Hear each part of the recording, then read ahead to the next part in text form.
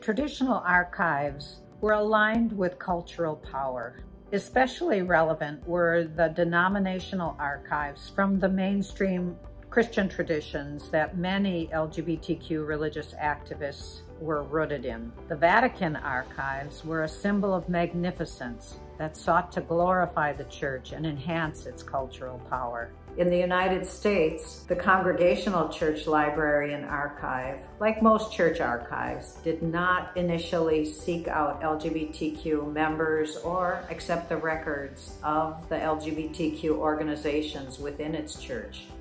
The result was that the historical records of the LGBTQ religious movements were one-sided.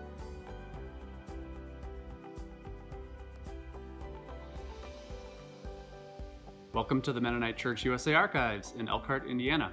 My name is Jason Kauffman, and I'm the Archives Director.